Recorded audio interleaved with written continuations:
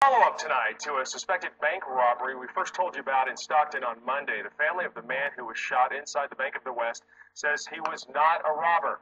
Police say the man was unarmed when he was shot and killed by an armored truck guard, but he, they claim that he was still posing a threat at the time. Today, the family held a funeral service and talked to KCRA 3's Rich Ibarra, who brings us that story. You know what? I'm at this point. We're just in mourning. We're in shock. The brother of Asif Ajmal is in disbelief, as are others in the family.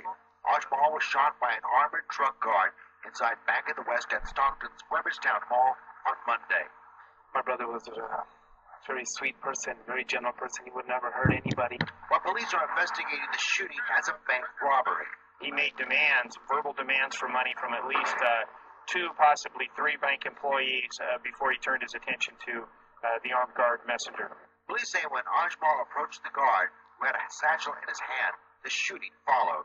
He was uh, verbally assaultive towards the guard, that he was very aggressive towards the guard, uh, and after repeated uh, demands by the guard for, for him to stay back, he continued to advance on the guard. He had, there's not one bad, like, single cell in this guy's body. He was a really good person, really honest man. Police confirm Ajmal did not have a weapon. The family said Ajmal came from a prosperous family and had no need to rob the bank, which is where he had an account.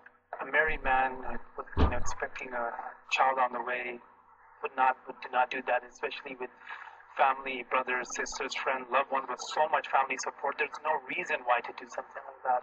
Ajmal's pregnant wife was outside in the car waiting for him.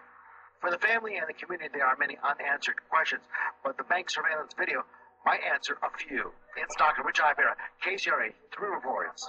Now, the surveillance video from the incident has not been released, and the investigation is ongoing. In